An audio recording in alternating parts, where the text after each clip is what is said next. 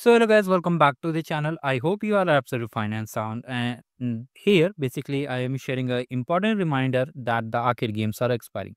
So first thing, if you are new to this channel, do like the video and subscribe the channel.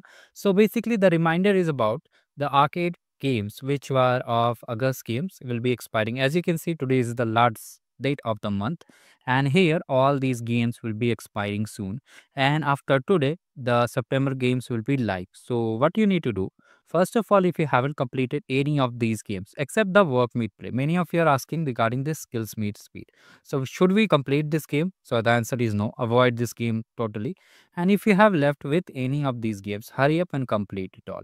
And if you haven't completed trivia, First of all, complete all these over trivias. Then only move to the level games. And if you have completed, basically I wanted to share that if you have completed these games, any games, if you are lacking, basically suppose if you are haven't completed the base camp game then complete it as soon as possible because you have very less time. Here you can see while shooting of this video only 11 hours are remaining. Basically it will be ending today only. So hurry up and complete all these games. Regarding the solutions here is the channel. You can just check the playlist over here. All the level games skill badges are live here. Here's the master sheet in the description. Here you can see the pre-assessment skill badges skill badge sheet, lab free courses. If you are an arcade facilitator program, you should complete the lab free courses also. But if you want to complete the arcade games, here is the arcade game sheet. Just come to here and when you click on any of these playlists, suppose you want to do week 2 trivia, you have to just click on it. You will be redirected over here. You can just see all these solutions are here. Complete it as soon as possible because if you miss it, you won't be able to complete it. Now here, if you have completed all these level games, arcade games, then come to the pre-assessment skill badges. Here you can see all these badges are available over here. Hurry up, all these.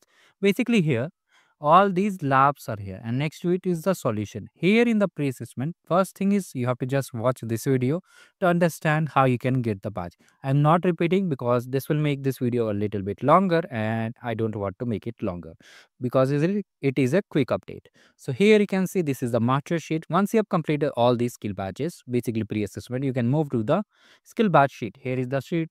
Here more than 60 plus skill badges are here. You can just see it and one more important thing, if you are facing any issue regarding the lab, you have to just report to the Qwiklab support. How to report? Click on this question mark and just email support. Okay, then an email will be shown over there and you have to mail the screenshot that you are facing this kind of issue. So this was a quick update.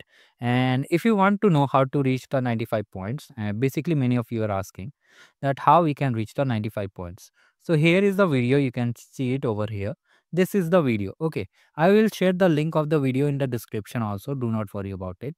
You'll be able to complete each and everything. Also here is the post. You can see we'll be getting these kind of some cool goodies.